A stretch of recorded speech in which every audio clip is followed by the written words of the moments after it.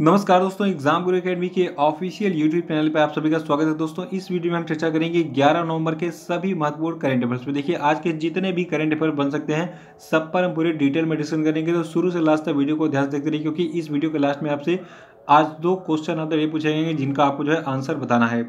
तो चलिए स्टार्ट करते हैं इस वीडियो को, लेकिन इससे पहले मैं बता दूँ कि अगर आप इस वीडियो का पीडीएफ भी डाउनलोड करना चाहते हैं तो नीचे डिस्क्रिप्शन बॉक्स में आपको आज के करेंट अफेयर की पीडीएफ की लिंक मिल जाएगी और नीचे मेरे फेसबुक पेज और टेलीग्राम चैनल का भी लिंक मिल जाएगा तो इनको भी आप ज्वाइन कर लिए यहाँ पर भी आपको जीएस और करेंट अफेयर के रेगुलर अपडेट मिलते रहते हैं। और देखिए, इस चैनल से ऐसे ही जीएस और करंट अफेयर के वीडियोस का ऑटोमेटिक नोटिफिकेशन पाने के लिए चैनल को सब्सक्राइब करके बेल आइकॉन पर प्रेस करना मत भूलिए। इससे आपको मेरे अगले सभी वीडियोस का नोटिफिकेशन ऑटोमेटिक और सबसे पहले मिल जाएगा। और देखिए वीडियो को लाइक करके इसको शेयर भी कर दीजिएगा।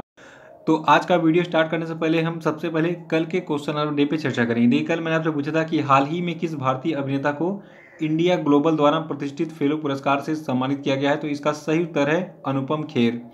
और जो दूसरा क्वेश्चन ऑफ़ डे मैंने आपसे पूछा था कि हाल ही में किस राज्य सरकार द्वारा मो बस सेवा की शुरुआत की गई है? तो देखिए, इसकी शुरुआत की गई है ओडिशा सरकार के द्वारा। तो ये दोनों फैक्ट आप याद रखेगा और देखिए, आज का जो पहला प्रश्न है यह कि कौन से भारतीय पहलवान पैंसठ किलोग्राम भार वर्ग में विश्व नंबर एक खिलाड़ी बन गए हैं? तो देखिए, ये विश्व नंबर एक खिलाड़ी बने हैं बजरंग पुनिया जी। और देखिए, जो आपके बजरंग पुनिया जो है, ये कुल छियानवे अंकों के साथ जो है, इस शीर्ष स्थान पर पहुँचे हैं।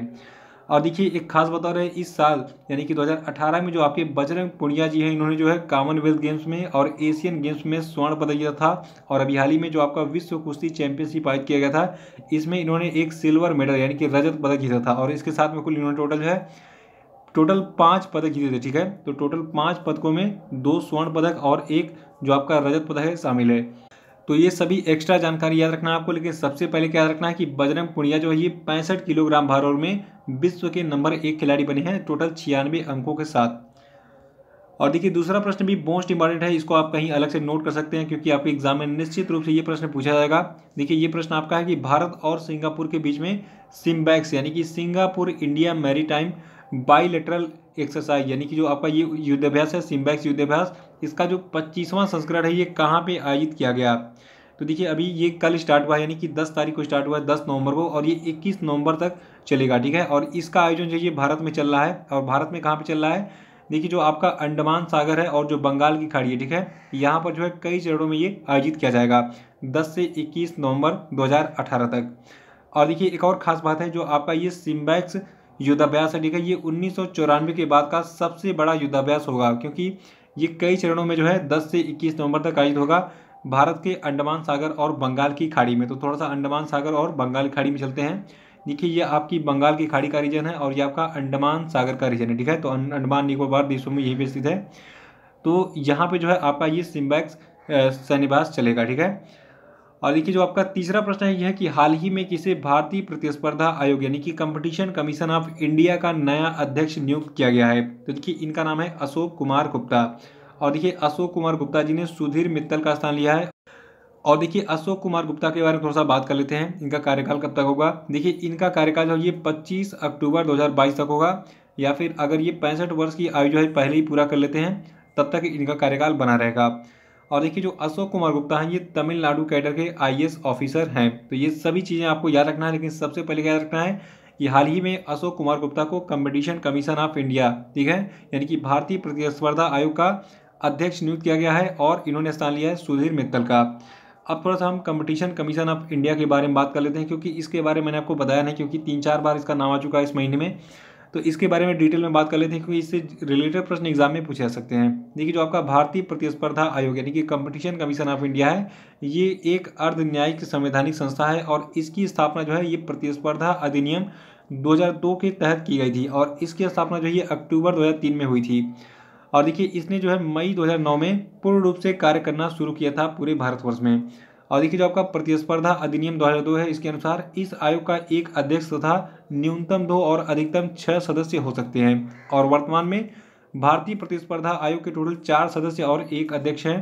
तो देखिए ये आयोग जो है, ये कारपोरेट मंत्रालय के अधीन कार्य करता है, ये सबसे मोस्ट फैक्ट है। इस पेज पे जितने भी फैक्ट हैं उसमें, ठीक है?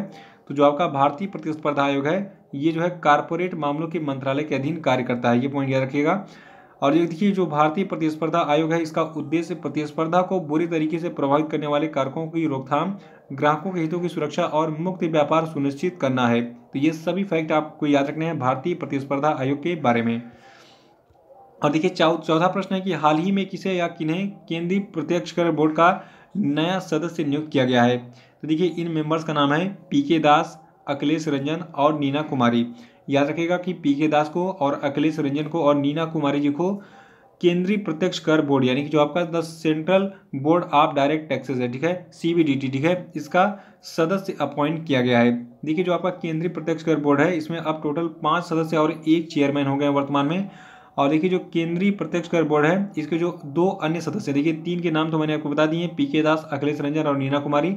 और बाकी जो आपके दो अन्य सदस्य बचते हैं। ये आपके हैं आई आर एस ऑफिसर हैं। इनका नाम है आदित्य विक्रम और पीसी मोदी। और देखिए एक और खास बात है जो आपका केंद्रीय प्रत्यक्ष कर बोर्ड है, यानी कि central board of direct taxes है। इसके वर्तमान में चेयरमैन है सुशील चंद्र। और देखिए थोड़ा सा हम बात कर लेंगे डिटेल में केंद्रीय प्रत्यक्ष कर बोर्ड, यानी कि सीबीडीटी की। देखिए जो आपका केंद्रीय प्रत्यक्ष कर बोर्ड है, ये आयकर विभाग की नीति निर्माण के लिए जो है नोडल एजेंसी है। और आयकर विभाग जो है भारत का ये जो है केंद्रीय वित्त मंत्रालय के अधीन कार्य करता है।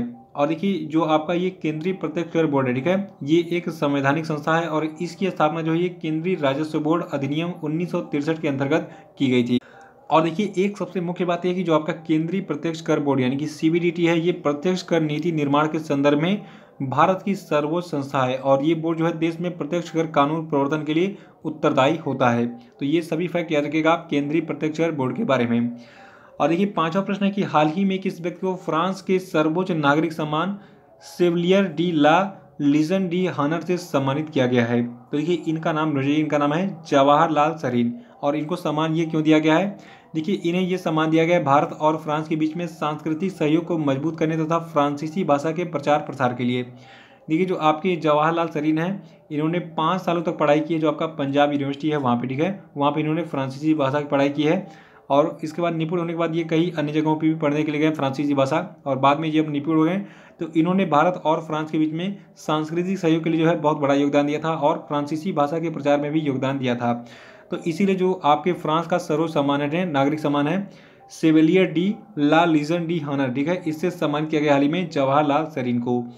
और देखिए, एक और खास बात है, जो जवाहरलाल सरीन है, ये अलायंस फ्रांसुआ डी दिल्ली के अध्यक्ष भी हैं। और देखिए, थोड़ा सा हम फ्रांस के बारे में बात कर लेते हैं। कि फ्रांस के प्रेसिडेंट है इमेनुअल मैक्रान। फ्रांस की कैपिटल है पेरिस और फ्रांस की करेंसी है यूरो और सी एफ़ पी फ्रैंक। तो ये सभी फैक्ट याद रखिएगा फ्रांस के बारे में भी। और छठा प्रश्न है कि राष्ट्रीय कानून विधिक सेवा दिवस किस तिथि को मनाया जाता है? तो देखिए, जो आपका राष्ट्रीय कानूनी विधिक सेवा दिवस है, ये हर साल मनाया जाता है नौ नवंबर को। तो ये डेट याद रखना आपको। और देखिए, सातवां प्रश्न है कि हाल ही में गोवा ने किस रसायन की पुष्टि के बाद आयातित मछलियों पर छः माह का प्रतिबंध लगा दिया है?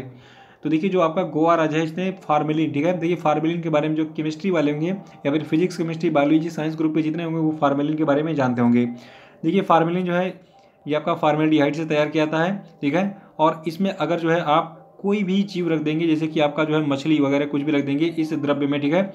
तो वो ख़राब नहीं होता, ठीक है? वो हमेशा वैसा ही बना रहेगा। तो जो मछलियाँ होती हैं इनको सड़ने से बचाने के लिए जो है इस पर फार्मेलिन का यूज़ किया जा रहा था। और फार्मेलिन देखिए जितना इसका बढ़िया यूज़ किया जा सकता है, उससे, इसका दुष्प्रभाव भी उससे ज़्यादा ही है, ठीक है? देखिए, फार्मेलिन से कैंसर नामक रोग हो सकता है या फिर कई अन्य सारी बीमारियाँ जो है उपज सकती हैं। तो इसीलिए जो गोवा की सरकार इसने कहा है कि भैया, विवाद विवाद हमें नहीं चाहिए। हम जो है, जो आयातित मछलियाँ, इन पर डायरेक्ट प्रतिबंध लगा देते हैं। अगर मछलियों पर प्रतिबंध होगा तो फार्मेलिन वाली मछलियाँ जो है, ये आपके गोवा राज्य में नहीं आ पाएँगी। तो दूसरे राज्यों से अब गोवा में मछलियों के आयात पर प्रतिबंध लग गया है। ये पॉइंट याद रखेगा और ये प्रतिबंध क्यों लगा है? जो आपका फार्मेलिन नामक केमिकल है इसके प्रयोग के कारण। और देखिए जो गोवा के स्वास्थ्य मंत्री हैं इनका नाम है विश्वजीत राणे ठीक है? तो इन्होंने जो है इस पर बैन का ऐलान किया है। और देखिए गोवा की बात करें तो, तो गोवा की राजधानी है पणजी और गोवा के मुख्यमंत्री हैं मनोहर लाल परिकर और गोवा की जो राज्यपाल इनका नाम है मृदुला सिन्हा। और देखिए गोवा की लोकेशन मैंने कल भी दिखाई थी तो आज भी दिखा देता हूँ। देखिए गोवा जो है आपका जो भारत का दक्षिणी सिरा ठीक है। अगर कहा जाए दक्षिणी नहीं तो दक्षिणी पश्चिमी ठीक है। तो दक्षिणी पश्चिमी सिरे पे जो है आपका स्थित है और गोवा की सीमाएँ लगती हैं आपकी महाराष्ट्र के साथ और कर्नाटका के साथ। और देखिए, आठवां प्रश्न है कि मुँह के कैंसर पर आधारित पुस्तक अरीबू किसके द्वारा लिखी गई है? तो देखिए, जो आपकी ये पुस्तक है अरीबू ये लिखी गई है डॉक्टर मुरली मोहन चुनथारू के द्वारा। तो याद रखना है कि मुँह के कैंसर पर आधारित पुस्तक अरीबू लिखा गया है डॉक्टर मुरली मोहन चुनथारू के द्वारा और अबियाली में। इस पुस्तक का अनावरण किया गया है रिसेंटली और देखिए, नवा प्रश्न आपका है कि 2013 में माउंट एवरेस्ट पर चढ़ने वाली दुनिया की पहली दिव्यांग महिला कौन है? तो देखिए, इनका नाम है अरुणिमा सिन्हा और इनका नाम आपको पता भी होगा, ये दुनिया की पहली ऐसी दिव्यांग महिला है, ठीक है, जिन्होंने माउंट एवरेस्ट फतेह किया था 2013 में। और ये प्रश्न जो है, जब तक इतिहास ज़िंदा रहेगा, तब तक जो है बार बार पूछा जाता रहेगा, ठीक है, और ये हर साल लगभग, अगर दस एग्ज़ाम होते हैं तो कम से कम चार पाँच एग्ज़ाम में जो है, पूछा जाता है। और और देखिए इनके बारे में एक करंट न्यूज़ क्या है? देखिए जो आपकी अरुणिमा सिन्हा ठीक है तो अरुणिमा अरुणिमा सिन्हा जो है ये भारतीय पर्वत रही हैं, उनको जो है इनकी प्रेरणादायक उपलब्धियों के लिए जो आपका प्रतिष्ठित यूके की एक यूनिवर्सिटी है, जिसका नाम है यूनिवर्सिटी ऑफ़ स्ट्रैथ क्लायर ठीक है? इसने जो है इनको डॉक्टर की उपाधि से सम्मानित किया है, ठीक है? तो इनको जो है डॉक्टर की उपाधि से किसने सम्मानित किया है? यूनाइटेड किंगडम की एक यूनिवर्सिटी जिसका नाम है यूनिवर्सिटी ऑफ़ स्ट्रैथ क्लायड और देखिए दसवां प्रश्न है कि शांति और विकास के लिए विश्व विज्ञान दिवस हर वर्ष किस तिथि को मनाया है? तो देखिए, जो आपका विश्व विज्ञान दिवस है, ये मनाया है हर साल 10 अक्टूबर को। तो ये डेट याद रखना है कि 10 अक्टूबर को हर साल विश्व विज्ञान दिवस के रूप में मनाया जाता है। और देखिए 2018 का जो आपका विश्व विज्ञान दिवस था, इसकी थीम रही साइंस अ ह्यूमन राइट। और देखिए, एक और खास बात है 2001 की बात है। 2001 में जो आपका यूनेस्को है, इसके द्वारा इस दिन को मनाने की घोषणा की गई थी। तो ये थे आज के करंट अफेयर अब हम बात कर लेते हैं आज के क्वेश्चन नंबर डे की। देखिए, कल के क्वेश्चन नंबर डे की हमने जो है शुरू में ही चर्चा कर ली थी तो जो आज का question day question number day है, इसका जो पहला प्रश्न ये है कि हाल ही में केंद्रीय मंत्रिमंडल के द्वारा किस राज्य में एक केंद्रीय जनजातीय विश्वविद्यालय की स्थापना को मंजूरी प्रदान की गई है? तो इसका उत्तर जो है आपको कमेंट बॉक्स में बताना है। देखिए, ये कल का प्रश्न है, और अगर आपने कल का वीडियो नहीं देखा तो कल का वीडियो देख लीजिएगा, क्योंकि इसका उत्तर जो है आपको कल के वीडियो ही मिलेगा, ठीक है? और देखिए, आज आपको एक और प्रश्न का उत्तर बताना है कि पाकिस्तान में ईस्ट निंदा के केस में बरी होने वाली ईसाई महिला का क्या नाम है, जिसने नीदरलैंड में शरण की मांग की है? तो इनका नाम बताइए कमेंट बॉक्स में। तो इसी के साथ जो आज का करेंट अफेयर है, वो यहीं समाप्त होता है। वीडियो को लाइक करके इसको शेयर कर दीजिएगा और जो लोग नए वो चैनल को सब्सक्राइब कर लेंगे ताकि मेरे अगले वीडियो का नोटिफिकेशन उनको ऑटोमेटिक और सबसे पहले मिल जाए। तो इसी के साथ बहुत बहुत धन्यवाद। Thank you and have a nice day